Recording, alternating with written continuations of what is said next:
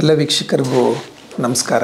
ನಾನು doctor ಶ್ರೀವತ್ಸಾಯನ್ Sri Shankara cancer ಆಸ್ಪತ್ರೆ ಮತ್ತು ಸಂಶೋಧನಾ ಕೇಂದ್ರ ಬೆಂಗಳೂರಿನಲ್ಲಿ ಕನ್ಸಲ್ಟೆಂಟ್ ಯೂರೋ ಆಂಕಾಲಜಿಸ್ಟ್ ಆಗಿ ಕೆಲಸ ನಿರ್ವಹಿಸ್ತಾ ಇದ್ದೀನಿ.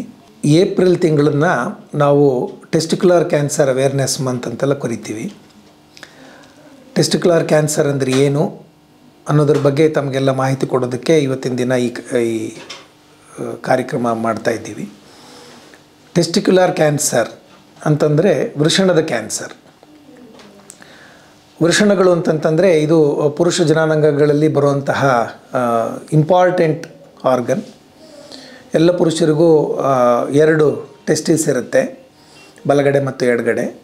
ಅದು ವೃಷಣ ಚೀಲದಲ್ಲಿ ಇರುತ್ತೆ. ಇದನ್ನು ಟೆಸ್ಟಿಸ್ ಅಂತ ಕರಿತೀವಿ.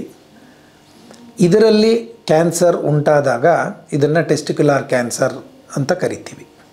ಸಾಮಾನ್ಯವಾಗಿ ಒಂದು ಪರ್ಸೆಂಟ್ ಆಫ್ ಆಲ್ ಕ್ಯಾನ್ಸರ್ಸ್ ಈ ವೃಷಣದ ಕ್ಯಾನ್ಸರ್ ಅಂತಂದರೆ ಎಲ್ಲ ದೇಹದಲ್ಲಿ ಯಾವುದೇ ರೀತಿಯಾದಂತಹ ಕ್ಯಾನ್ಸರ್ ಆಗಬಹುದಲ್ಲ, ಅದರಲ್ಲಿ ಕೇವಲ ಒಂದು ಪರ್ಸೆಂಟ್ ಮಾತ್ರ ಟೆಸ್ಟಿಕ್ಯುಲರ್ ಕ್ಯಾನ್ಸರ್ ಆಗುವಂತಹ ಸಾಧ್ಯತೆ ಇರುತ್ತೆ. ಹಾಗಾಗಿ ಇದು ಅಪರೂಪದ ಕ್ಯಾನ್ಸರ್ ಈ ಕ್ಯಾನ್ಸರ್ ಉಂಟಾಗೋದಕ್ಕೆ ನಿರ್ದಿಷ್ಟವಾಗಿ ಇದೇ ಕಾರಣ ಇದೆ ಅಂತ ನಾವು ಹೇಳೋದಕ್ಕಾಗೋದಿಲ್ಲ. ಆದರೂ ಸಹಿತ ಈ ಕ್ಯಾನ್ಸರು ಅನುವಂಶೀಯವಾಗಿ ಬರಬಹುದು. ಅಂತಂದರೆ ತಂದೆಯಲ್ಲಿ ಅಥವಾ ಅಣ್ಣ ತಮ್ಮಂದರಲ್ಲಿ ಯಾರಿಗಾದರೂ ಕ್ಯಾನ್ಸರ್ ಬಂದಿದ್ದರೆ ಅಂಥವರಲ್ಲಿ ಈ ಕ್ಯಾನ್ಸರು ಮನೆತನದಲ್ಲಿ, ಅಂದರೆ ಮನೆತನದಲ್ಲಿ ಬರುವಂಥ ಕ್ಯಾನ್ಸರ್ ಆಗಿರಬಹುದು. ಎರಡನೇದಾಗಿ ಕೆಲವು ಮಕ್ಕಳಿಗೆ ಈ ವೃಷಣ ಏನಿರುತ್ತಲ್ಲ ಅದು ವೃಷಣ ಚೀಲದ ತನಕ ಬರೋದೇ ಇಲ್ಲ. ಇದು ಹುಟ್ಟಿನಿಂದಲೇ ಈ ಥರ ಆಗಿರುತ್ತೆ. ಇದನ್ನು ನಾವು ಅನ್ಡಿಸೆಂಡೆಡ್ ಟೆಸ್ಟಿಸ್ ಅಂತ ಕರಿತೀವಿ. ಅದು ಒಂದು ಕಡೆ ಆದರೂ ಆಗಿರಬಹುದು, ಎರಡು ಕಡೆ ಕೂಡ ಆಗಿರಬಹುದು. ಅದನ್ನು ಯೂನಿಲ್ಯಾಟ್ರಲ್ ಅನ್ಡಿಸೆಂಡೆಡ್ ಟೆಸ್ಟಿಸ್ ಅಥವಾ ಬೈಲ್ಯಾಟ್ರಲ್ ಅನ್ಡಿಸೆಂಡೆಡ್ ಟೆಸ್ಟಿಸ್ ಅಂತ ಕರಿತೀವಿ. ಹೀಗೆ ಈ ವೃಷಣ ವೃಷಣ ಚೀಲಕ್ಕೆ ಪೂರ್ತಿಯಾಗಿ ಸಂಪೂರ್ಣವಾಗಿ ಬಂದು ಕೆಳಗಡೆ ಬಂದಿಲ್ಲ ಅಂತಂತಂದರೆ, ಅದು ಹೊಟ್ಟೆಯಲ್ಲೇ ಇದ್ದರೆ ಆಗ ಕಾಲಕ್ರಮೇಣ ಅದರಲ್ಲಿ ಟೆಸ್ಟಿಕ್ಯುಲರ್ ಕ್ಯಾನ್ಸರ್ ಉಂಟಾಗುವಂತಹ ಸಾಧ್ಯತೆ ಇರುತ್ತೆ. ಇದು ಸಾಮಾನ್ಯವಾಗಿ ಹದಿನೈದರಿಂದ ನಲವತ್ತೈದು ವರ್ಷದ ವ್ಯಕ್ತಿಗಳಿಗೆ ಉಂಟಾಗುವಂತಹ ಕ್ಯಾನ್ಸರ್ ಬೇರೆ ಕ್ಯಾನ್ಸರ್ಗಳು ಸಾಮಾನ್ಯವಾಗಿ ವಯಸ್ಸಾದ ಮೇಲೆ ಬರುತ್ತೆ ಅಂತ ನಾವು, ಅದು ಸಾಮಾನ್ಯವಾಗಿ ನಾವು ತಿಳ್ಕೊಂಡಿರೋದು. ಆದರೆ ಈ ಟೆಸ್ಟಿಕ್ಯುಲರ್ ಕ್ಯಾನ್ಸರು ಚಿಕ್ಕ ವಯಸ್ಸಿನಲ್ಲೇ ಬಂದುಬಿಡುವಂಥ ಸಾಧ್ಯತೆಗಳು ಜಾಸ್ತಿ. ಹಾಗಿದ್ದರೆ ಇದು ಕಷ್ಟನ ಜೀವಕ್ಕೆ ಅಪಾಯ ಆಗುತ್ತಾ ಅಂತ ಕೇಳಿದರೆ ಖಂಡಿತ ಇಲ್ಲ. ಟೆಸ್ಟಿಕ್ಯುಲರ್ ಕ್ಯಾನ್ಸರ್ ಸಾಮಾನ್ಯವಾಗಿ ಚಿಕಿತ್ಸೆಗೆ ತುಂಬ ಸುಲಭವಾಗಿ ಸ್ಪಂದಿಸುವಂಥ ಕ್ಯಾನ್ಸರ್ ಆ್ಯಂಡ್ ಚಿಕಿತ್ಸೆ ಸರಿಯಾಗಿ ತೆಗೆದುಕೊಂಡ್ರೆ ಸಂಪೂರ್ಣವಾಗಿ ಗುಣ ಕೂಡ ಆಗುವಂತಹ ಒಂದು ಕ್ಯಾನ್ಸರ್ ಈಗ ಟೆಸ್ಟಿಕ್ಯುಲರ್ ಕ್ಯಾನ್ಸರ್ ಬಗ್ಗೆ ತಿಳಿ ಇದು ಯಾಕೆ ಬರುತ್ತೆ, ಏನಾಗಬಹುದು ಅನ್ನೋದನ್ನು ತಿಳಿದುಕೊಂಡ್ವಿ. ಅದರ ರೋಗ ಲಕ್ಷಣಗಳು ಏನು ಅನ್ನೋದನ್ನು ಇವಾಗ ತಿಳ್ಕೊಳ್ಳೋಣ.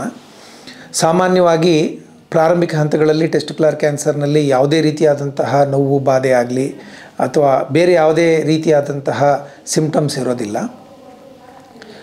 ಕೇವಲ ಅಫೆಕ್ಟ್ ಆಗಿರುವಂತಹ ವೃಷಣ ಮಾತ್ರ ದೊಡ್ಡದಾಗ್ತಾ ಹೋಗ್ತಾ ಇರುತ್ತೆ.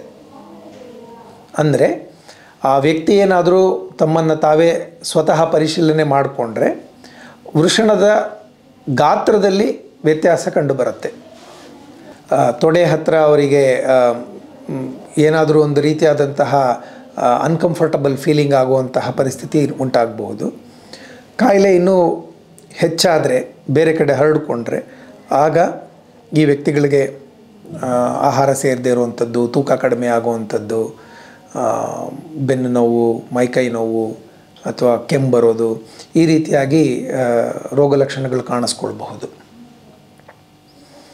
ಯಾವುದೇ ವ್ಯಕ್ತಿಗೆ ಏನಾದರೂ ಈ ವೃಷಣದಲ್ಲಿ ತೊಂದರೆ ಇದೆ ಅಂತ ಸಂದೇಹ ಇದ್ದರೆ ಅವರು ವೈದ್ಯರ ಹತ್ರ ಹೋಗಿ ಪರಿಶೀಲನೆ ಮಾಡಿಸ್ಕೊಂಡ್ರೆ, ಸಾಮಾನ್ಯವಾಗಿ ಪರಿಶೀಲನೆಯಿಂದಲೇ ವೈದ್ಯರು ಆ ವೃಷಣದಲ್ಲಿ ಏನಾದರೂ ಕ್ಯಾನ್ಸರ್ ಇದೆಯಾ ಅಂತ ಕಂಡುಹಿಡ್ಕೊಳ್ಳೋದಕ್ಕೆ ಒಳ್ಳೆಯ ಅವಕಾಶ ಇರುತ್ತೆ.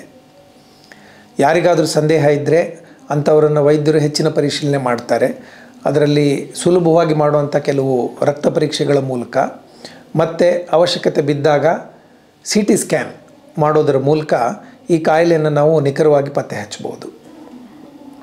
ಪತ್ತೆ ಹಚ್ಚಿದ ಮೇಲೆ ಈ ವ್ಯಕ್ತಿಗೆ ಈ ಕಾಯಿಲೆ ಯಾವ ಹಂತದಲ್ಲಿದೆ ಅನ್ನೋದನ್ನು ನಾವು ತೀರ್ಮಾನ ಮಾಡ್ತೀವಿ. ಬೇರೆ ಕ್ಯಾನ್ಸರ್ಗಳಿಗೆ ನಾವು ಬಯಾಪ್ಸಿ ಅನ್ನೋ ಒಂದು ಪ್ರಕ್ರಿಯೆ ಮೂಲಕ ಕಾಯಿಲೆಯನ್ನು ಪತ್ತೆ ಹಚ್ಚೋ ಒಂದು ಕ್ರಮ ಇರುತ್ತೆ. ಆದರೆ ಈ ಟೆಸ್ಟಿಕ್ಯುಲರ್ ಕ್ಯಾನ್ಸರ್ಗಳಲ್ಲಿ ಈ ಬಯಾಪ್ಸಿ ಅನ್ನೋ ಪ್ರಕ್ರಿಯೆಯನ್ನು ನಾವು ಮಾಡೋದಿಲ್ಲ. ಬಯಾಪ್ಸಿಯನ್ನು ಮಾಡಿದರೆ ಕೆಲವೊಮ್ಮೆ ಕಾಯಿಲೆ ಹೆಚ್ಚಾಗುವಂತಹ ಸಾಧ್ಯತೆ ಇರುತ್ತೆ. ಹಾಗಾಗಿ ಟೆಸ್ಟಿಕ್ಯುಲರ್ ಕ್ಯಾನ್ಸರ್ಸ್ನಲ್ಲಿ ಮಾತ್ರ ನಾವು ನಮ್ಮ ಪರಿಶೀಲನೆ, ಅಂದರೆ ಎಕ್ಸಾಮಿನೇಷನ್ ಮತ್ತು ಟೆಸ್ಟ್ ರಿಪೋರ್ಟ್ಸ್ ಬ್ಲಡ್ ಟೆಸ್ಟ್ ಹಾಗೂ ಸಿ ಟಿ ಸ್ಕ್ಯಾನ್ ರಿಪೋರ್ಟ್ಗಳ ಮೂಲಕನೇ ಈ ಕಾಯಿಲೆ ಕ್ಯಾನ್ಸರ ಅಲ್ವಾ ಅನ್ನೋದನ್ನು ತೀರ್ಮಾನ ಮಾಡಿ ಆ ವ್ಯಕ್ತಿಗಳಿಗೆ ಚಿಕಿತ್ಸೆಯನ್ನು ಕೊಡ್ತೀವಿ. ಈ ಕಾಯಿಲೆಗೆ ನಾನು ಹಿಂದೆ ಹೇಳಿದ ಹಾಗೆ ಚಿಕಿತ್ಸೆ ತುಂಬ ಚೆನ್ನಾಗಿದೆ. ಸಾಮಾನ್ಯವಾಗಿ ಯಾವ ವೃಷಣಕ್ಕೆ ಕ್ಯಾನ್ಸರ್ ತಾಗಿರುತ್ತೋ ಆ ವೃಷಣವನ್ನು ನಾವು ತೆಗೆದು ಬಿಡ್ತೀವಿ ಇದನ್ನು ಹೈ ಇಂಗ್ವೈನಲ್ ಆರ್ಕಿಡೆಕ್ಟಮಿ ಅಂತ ಕರಿತೀವಿ. ಪ್ರಾರಂಭಿಕ ಹಂತಗಳಲ್ಲಿ ಕೇವಲ ಈ ಒಂದು ಶಸ್, ಸಣ್ಣ ಶಸ್ತ್ರಚಿಕಿತ್ಸೆ ಒಂದರಿಂದಲೇ ಈ ಕಾಯಿಲೆ ಸಂಪೂರ್ಣವಾಗಿ ಗುಣ ಆಗೋದಕ್ಕೆ ಒಳ್ಳೆಯ ಸಾಧ್ಯತೆ ಇರುತ್ತೆ. ಹೆಚ್ಚಿನ ಹಂತಗಳಲ್ಲಿ ಈ ಕಾಯಿಲೆಯನ್ನು ಪತ್ತೆ ಹಚ್ಚಿದರೆ, ಆ ವೃಷಣವನ್ನು ತೆಗೆಯೋದರ ನಂತರ ಆ ವ್ಯಕ್ತಿಗೆ ಕೀಮೊಥೆರಪಿ ಆಗಲಿ ಅಥವಾ ರೇಡಿಯೋಥೆರಪಿ ಆಗಲಿ ನಾವು ಚಿಕಿತ್ಸೆಯನ್ನು ಕೊಟ್ಟು ಆ ವ್ಯಕ್ತಿಗಳನ್ನು ಗುಣಪಡಿಸೋದಕ್ಕೆ ಸ, ಪ್ರಯತ್ನ ಮಾಡ್ತೀವಿ. ಒಂದೇ ಚಿಕಿತ್ಸೆ ಅಲ್ಲದೆ ಎರಡು ಮೂರು ಬಗೆಯ ಚಿಕಿತ್ಸೆಗಳು ಕೂಡ ತೆಗೆದುಕೊಂಡ್ರೂ ಸಹಿತ ಆ ವ್ಯಕ್ತಿಗಳಿಗೆ ತುಂಬ ಕಷ್ಟ ಏನೂ ಉಂಟಾಗೋದಿಲ್ಲ. ಸಣ್ಣ ಪ್ರಮಾಣದಲ್ಲಿ ಅಡ್ಡ ಪರಿಣಾಮಗಳಾಗಬಹುದು. ಆದರೆ ಆ, ವ್ಯಕ್ತಿಗಳು ಅದನ್ನು ಸಾಕಷ್ಟು ಸುಲಭವಾಗಿ ತಡ್ಕೊಳ್ತಾರೆ. ಮತ್ತು ಚಿಕಿತ್ಸೆ ಮುಗಿದ ಮೇಲೆ ಬಹಳ ಬೇಗ ಅದರಿಂದ ಚೇತರಿಸ್ಕೊಂಡು ಬಿಡ್ತಾರೆ. ಮುಖ್ಯವಾಗಿ ಆ ಕಾಯಿಲೆ ತುಂಬ ಅಡ್ವಾನ್ಸ್ ಸ್ಟೇಜಸ್ನಲ್ಲಿ ಇದ್ದರೂ ಸಹಿತ ಸಂಪೂರ್ಣವಾಗಿ ಗುಣ ಆಗೋದಕ್ಕೆ ಒಳ್ಳೆಯ ಸಾಧ್ಯತೆಗಳಿರುತ್ತೆ. ಇದಕ್ಕೆ ರೋಗಿಗಳು ಸರಿಯಾದ ಮಾರ್ಗದರ್ಶನವನ್ನು ತೆಗೆದುಕೊಂಡು ಸರಿಯಾದ ಸಮಯದಲ್ಲಿ ತಮ್ಮ ವೈದ್ಯರು ಹೇಳೋ ರೀತಿಯಲ್ಲಿ ಚಿಕಿತ್ಸೆಯನ್ನು ಮಾಡಿಸ್ಕೊಳ್ಬೇಕು. ಇದು ಯಾಕೆ ನಾನು ಹೇಳ್ತಾ ಇದ್ದೀನಿ ಅಂತಂದರೆ ಸಣ್ಣ ವಯಸ್ಸಿನಲ್ಲಿ ಈ ಕಾಯಿಲೆ ಉಂಟಾಗೋದ್ರಿಂದ ಸಾಕಷ್ಟು ಜನರಿಗೆ ಒಂದು ಹಿಂಜರಿಕೆ, ಸಂಕೋಚ, ಮುಜುಗರ, ನಾಚಿಕೆ ಇದೆಲ್ಲ ಇರುತ್ತೆ. ವೃಷಣದಲ್ಲಿ ಕ್ಯಾನ್ಸರ್ ಬಂದುಬಿಟ್ಟಿದೆ ಅಂತಂತಂದರೆ ನಾನೇನೋ ತಪ್ಪು ಮಾಡಿರೋದ್ರಿಂದ ಈ ಥರ ಆಗಿಬಿಟ್ಟಿದೆ. ಈ ರೀತಿಯಾದಂತಹ ನಾನಾ ವಿಚಾರಗಳು ಅವ್ರ ತಲೆಯಲ್ಲಿ ಓಡ್ತಾ ಇರುತ್ತೆ. ಅದಕ್ಕೆ ಯಾವುದಕ್ಕೂ ಆಸ್ಪದ ಕೊಡಬಾರ್ದು. ಅವರು ಸಂಕೋಚ ಇಲ್ದೇರ, ಭಯ ಇಲ್ದೇರ, ವೈದ್ಯರ ಹತ್ರ ಹೋಗಿ ಅವರು ಹೇಳೋ ರೀತಿಯಲ್ಲಿ ಸೂಕ್ತವಾಗಿ ಚಿಕಿತ್ಸೆಯನ್ನು ಮಾಡಿಸ್ಕೊಳ್ಬೇಕು. ಇನ್ನೊಂದು ಸಾಮಾನ್ಯವಾಗಿ ಈ ಕ್ಯಾನ್ಸರ್ನಲ್ಲಿ ನಾವು ಏನು ನೋಡ್ತೀವಿ ಅಂತಂತಂದರೆ ಈ ಚಿಕಿತ್ಸೆಗಳೆಲ್ಲ ಆದಮೇಲೆ ಆ ವ್ಯಕ್ತಿಗಳು ಸಂಪೂರ್ಣವಾಗಿ ನಾರ್ಮಲ್ ಆಗಿಬಿಡ್ತಾರೆ. ನಾರ್ಮಲ್ ಆಗೋದ್ರಿಂದ ಅವರು ತಮ್ಮ ಜೀವನವನ್ನು, ಜೀವನ ಶೈಲಿಯನ್ನು ಸಂಪೂರ್ಣವಾಗಿ ಎಂದಿನಂತೆ ನಡೆಸ್ಕೊಂಡು ಹೋಗ್ತಾ ಇರ್ತಾರೆ. ಇದರಲ್ಲಿ ಒಂದು ಪ್ರಮುಖ ಅಂಗ, ಸಣ್ಣ ವಯಸ್ಸಿನಲ್ಲಿ ಯಾರಿಗಾದರೂ ವಿಷಣದ ಕ್ಯಾನ್ಸರ್ ಬಂದಿದ್ದರೆ ಅದಕ್ಕೆ ಚಿಕಿತ್ಸೆ ಆಗಿದ್ದರೆ ನಂತರದಲ್ಲಿ ಅವ್ರು ನಾರ್ಮಲ್ ಆದಾಗ ಅವರು ಬೇರೆಯವ್ರ ಥರ ಅವರು ತಾವೂ ಮದುವೆ ಆಗೋದಾಗಲಿ, ಮಕ್ಕಳಾಗೋದಾಗಲಿ ಮಾಡ್ಕೊಳ್ಬಹುದು. ಅದರಲ್ಲಿ ಏನಾಗುತ್ತೆ ಅಂತಂದರೆ ಈ ಸಾಮಾನ್ಯವಾಗಿ ನಮ್ಮ ಆಲೋಚನೆ ಹೇಗಿರುತ್ತೆ ಅಂತಂದರೆ ವೈದ್ಯರು ಆಪ್ರೇಷನ್ ಮಾಡಿಬಿಟ್ಟಿದ್ದಾರೆ, ಒಂದು ವೃಷಣ ತೆಗೆದುಬಿಟ್ಟಿದ್ದಾರೆ, ನಾನು ಎಲ್ಲರ ಥರ ಇರಬಹುದಾ? ನಾನು ಮದುವೆ ಮಾಡ್ಕೊಳ್ಬಹುದಾ? ನಾನು ನಾರ್ಮಲ್ ಆಗಿ ದಾಂಪತ್ಯ ಜೀವನ ನಡೆಸಬಹುದಾ? ನನಗೆ ಮಕ್ಕಳಾಗತ್ತಾ? ಈ ರೀತಿಯಾಗಿ ನಾನಾ ಸಂದೇಹಗಳಿರುತ್ತೆ. ವೃಷಣದ ಕ್ಯಾನ್ಸರ್ ಬಂದು ಅದಕ್ಕೆ ಚಿಕಿತ್ಸೆ ಮಾಡಿಸ್ಕೊಂಡ್ರೆ, ದಾಂಪತ್ಯ ಜೀವನಕ್ಕೆ ಯಾವುದೇ ರೀತಿಯಾದಂತಹ ತೊಂದರೆ ಆಗೋದಿಲ್ಲ. ಅಂತಂದರೆ ಆ ವ್ಯಕ್ತಿಗಳು ತಮ್ಮ ಪುರುಷತ್ವವನ್ನು ಸಂಪೂರ್ಣವಾಗಿ ಕಾಪಾಡಿಕೊಳ್ಬಹುದು. ಅದರ, ಅದಕ್ಕೆ ಯಾವುದೇ ರೀತಿಯಾದಂತಹ ತೊಂದರೆ ಉಂಟಾಗೋದಿಲ್ಲ. ಆದರೆ ವೃಷಣದ ಕ್ಯಾನ್ಸರ್ಗೆ ಚಿಕಿತ್ಸೆ ತೆಗೆದುಕೊಂಡ ಮೇಲೆ ಮಕ್ಕಳಾಗುವಂತಹ ಸಾಧ್ಯತೆ ಸ್ವಲ್ಪ ಮಟ್ಟಕ್ಕೆ ಕಡಿಮೆ ಆಗಿಬಿಡುತ್ತೆ. ಇದನ್ನು ಇನ್ಫರ್ಟಿಲಿಟಿ ಅಂತ ಕರಿತೀವಿ.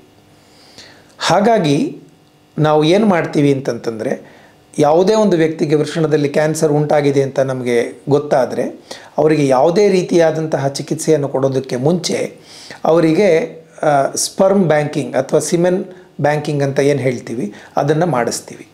ಇದರಲ್ಲಿ ಆ ವ್ಯಕ್ತಿ ತಮ್ಮ ವೀರ್ಯವನ್ನು ಕ್ರಯೋ ಪ್ರಿಸರ್ವೇಷನ್ ಮೂಲಕ ಸೇಫಾಗಿ ಪ್ರಿಸರ್ವ್ ಮಾಡಬಹುದು. ಸಾಕಷ್ಟು ವರ್ಷಗಳ ಕಾಲ ಕೂಡ ಅದಕ್ಕೆ ಏನೂ ತೊಂದರೆ ಆಗೋದಿಲ್ಲ. ಇದರಿಂದ ಏನಾಗುತ್ತೆ ಅಂತಂದರೆ ಆ ವ್ಯಕ್ತಿಗೆ ಚಿಕಿತ್ಸೆ ಎಲ್ಲ ಆಗಿ ಅವರು ತಮ್ಮ ಎಂದಿನ ಜೀವನ ಶೈಲಿಗೆ ಬಂದು ಅವರು ಮಕ್ಕಳು, ಅವರಿಗೆ ಮಕ್ಕಳಾಗಬೇಕು ಅನ್ನುವಂತಹ ಒಂದು ಆಸಕ್ತಿ ಇದ್ದರೆ ಅವರು ಈ ಸ್ಪರ್ಮ್ ಬ್ಯಾಂಕಿಂಗ್ನಲ್ಲಿರುವಂಥ ಸ್ಪರ್ಮ್ನ ಮೂಲಕ ತಮ್ಮ ಮಕ್ಕಳನ್ನು ಮಾಡ್ಕೊಳ್ಬಹುದು. ನಾರ್ಮಲಾಗಿ ಸಹಜವಾಗಿ ಆಗದೆ ಹೋದ್ರೂ ಟೆಸ್ಟ್ ಟ್ಯೂಬ್ ಬೇಬಿ ಅಂತ ನಾವು ಸಾಮಾನ್ಯವಾಗಿ ಏನು ಕರಿತೀವಿ, ಆ ರೀತಿಯಾದಂತಹ ಇನ್ವಿಟ್ರೋ ಫರ್ಟಿಲೈಸೇಷನ್ ಮೂಲಕ ಅವರು ನಾರ್ಮಲ್ಲಾಗಿ ತಮ್ಮ ಮಕ್ಕಳಿಗೆ ಮಕ್ಕಳನ್ನು ಮಾಡ್ಕೊಳ್ಳೋದಕ್ಕೆ ಅವಕಾಶ ಇರುತ್ತೆ. ಮೂರನೇದಾಗಿ ಅಡ್ವಾನ್ಸ್ಡ್ ಸ್ಟೇಜಸ್ನಲ್ಲಿ ಕೂಡ ಈ ಕಾಯಿಲೆ ಹೆಚ್ಚಿನ ಪ್ರಮಾಣದಲ್ಲಿ ವಾಸಿಯಾಗೋದರಿಂದ ಟೆಸ್ಟಿಕ್ಯುಲರ್ ಕ್ಯಾನ್ಸರ್ ಬಂದಿರುವಂಥ ಯಾವುದೇ ವ್ಯಕ್ತಿಗಳು ಆತಂಕ ಬೀಳದೆ ಧೈರ್ಯವಾಗಿ ಬಂದು ಚಿಕಿತ್ಸೆಯನ್ನು ಮಾಡಿಸ್ಕೊಳ್ಬೇಕು. ಇದುವರೆಗೂ ವೃಷಣದ ಕ್ಯಾನ್ಸರ್ ಅಂದ್ರೇನು? ಯಾವ ರೀತಿ ಬರುತ್ತೆ? ಅದರದ್ದು ರೋಗ ಲಕ್ಷಣಗಳೇನು ಅದರ ಚಿಕಿತ್ಸಾ ವಿಧಾನ ಹೇಗೆ ಅನ್ನೋದನ್ನೆಲ್ಲ ತಮಗೆ ತಿಳಿಸ್ಕೊಟ್ಟಿದ್ದೀನಿ. ಟೆಸ್ಟಿಕ್ಯುಲರ್ ಕ್ಯಾನ್ಸರ್ ಅಪರೂಪ.